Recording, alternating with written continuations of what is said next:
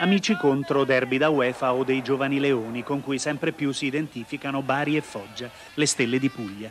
Tante le definizioni nel giorno in cui la festa, ed è un peccato, viene turbata da un toscano dispettoso, l'arbitro Nicchi. Niente pause, si comincia di gran carriera. Il Bari cerca di spaventare subito gli ospiti che si propongono con Bresciani, fermato da Manighetti. Il giudice latita.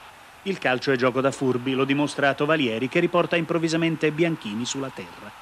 In tribuna è festa grande, il sindaco Memola si dimostra tifoso doc. Solito Foggia che però pesa assai poco in attacco, mentre dall'altra parte il Bari, quando può, usa il randello. Ancora idee che danno solo qualche illusione. E poi è la festa di San Nicola, con tiracci che arrivano da tutte le parti sul malcapitato Mancini. E quando è tempo di riposo, ecco che da fuori provincia Di Biagio trova coordinazione e rabbia per pareggiare si riprende sulle ali dell'entusiasmo rossonero che dà grandi brividi alla curva sud, ma ecco che Nicchi diventa protagonista, concede un rigore, ammonisce e poi espelle Padalino. Capitan De Vincenzo è stupefatto. Il Padalino, che io ero lì e c'erano altri miei compagni vicino e non è accaduto nulla, non, non gli ha mancato di rispetto, non si è lasciato scappare nessuna parola, credetemi, e mi piace vedere le persone educate. Oggi non ho visto questo, veramente mi dà fastidio.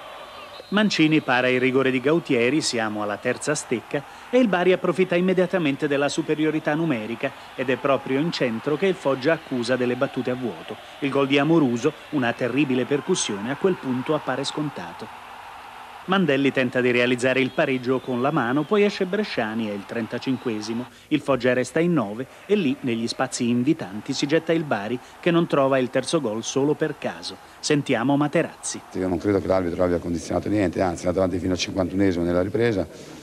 Ha avuto il Foggia un calcio di punizione all'altezza della nostra area sul fine della partita e noi abbiamo fatto i gol, loro no. Anche se devo dire che il Foggia ha giocato una grande partita.